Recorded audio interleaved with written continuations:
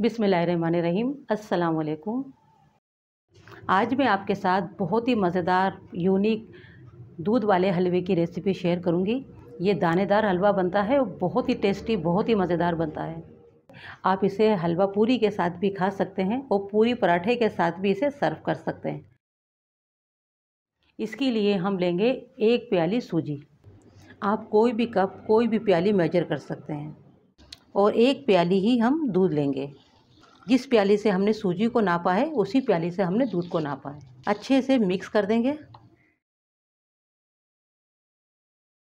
अच्छे से मिक्स करने के बाद इसे कवर करके हम रख देंगे आधे घंटे के लिए, ताकि सूजी अच्छे से फूल जाए और तमाम दूध ये जब्स कर ले। देखें, तीस मिनट हो चुके हैं। सूजी अच्छे से फूल चुकी है।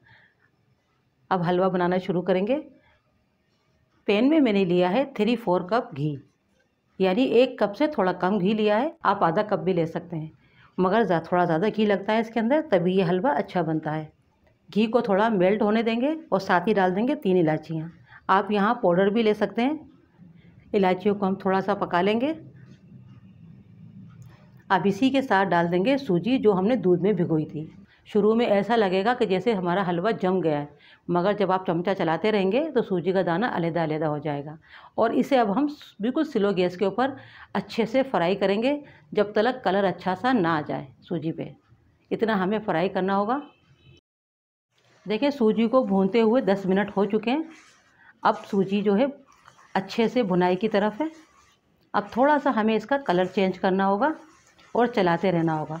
गैस को याद रखें कि आपने स्लो ही रखना है।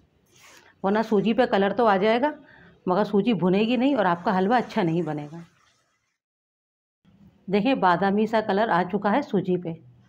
अब इसी वक्त हम डाल देंगे एक प्याली चीनी, जिससे हमने सूजी नापी थी, उसी प्याली से हम चीनी डालेंगे। आप चीनी यहाँ पर कम भी ले सकते हैं और ज़्यादा भी ले सकते हैं। जितना मीठा खाना पसंद करते हैं, चीनी डाल के थोड़ा सा मिक्स कर देंगे। देखिए, इस तरह से हमें सूजी का कलर चाहिए होगा। चीनी डाल के भी मैंने दो मिनट करीब पका लिया है और देखें, घी जो है रिलीज़ होना शुरू हो चुका है। घी तो पहले ही आ चुका था, मगर चीनी डाल के भी आपने दो मिनट करीब अच्छे से पका लेना है। अब इसी वक्त डाल देंगे हम, जिस प्याली से नाप कर हमने सूजी ली थी और चीनी ली थी, उसी प्याली से नाप के यहाँ हम लेंगे दूध। एक प्याली दूध डाल के हमने अच्छे से मिक्स कर दिया था। ये दूसरी प्याली दूध है। इसे भी हम मिक्स कर देंगे। क्योंकि इसको हम दानेदार हलवा बनाएँगे और इसमें बॉयल आने देंगे। गैस यहाँ भी मैंने कमी रखी है।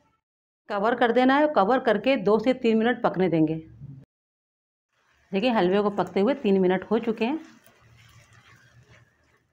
और देखिए, सूजी का दानेदार हलवा बनके तैयार हो चुका है। तमाम घी, देखें, आ चुका है। कलर भी बहुत प्यारा आया है। थोड़े से ड्राई फ्रूट डाल देंगे।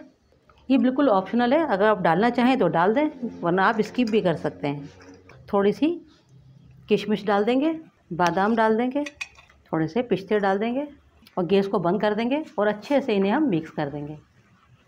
ये लीजिए मज़ेदार दूध वाला हलवा बन के तैयार है। अगर आप इसमें नट नहीं भी डालेंगे ना, यानी कि अगर आप इसमें ड्राई फ्रूट नहीं डालेंगे, तब भी ये हलवा बहुत मज़ेदार बनता है।